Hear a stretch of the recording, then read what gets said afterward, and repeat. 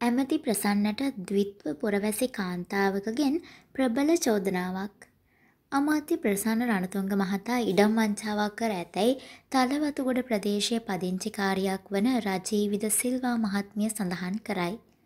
අමාත්‍යවරයා විසින් ආණ්ඩුවේ ඉඩම් කොල්ල කා ඇති බවත් ඒ බව ඔප්පු කිරීමට තමන් සතුව සියලු ලේඛන ඇති බවත් ඇය කියා සිටී.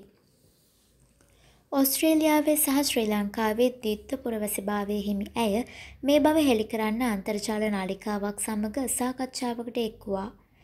කෙසේ වෙතත් අමාත්‍ය ප්‍රසන්න රණතුංග මහතාගේ නීතිඥවරුන් විසින් ඇය වෙත ලිපියක් යවමින් දන්වා ඇත්තේ අමාත්‍යවරයාට ඇය විසින් සිදු කරන ලද අපහාසමය හේතුවෙන් රුපියල් කෝටි පණහක වන්දි මුදලක් දින දාහතරක් ඇතුළත ගෙවන ලෙසත් එසේ නොගෙවන්නේ නම් එම කාලෙන් පසු නීතිමය ක්‍රියාමාර්ග ගන්නා බවත්ය.